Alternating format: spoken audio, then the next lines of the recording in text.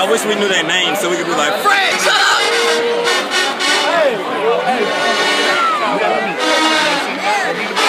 You asking for it, what?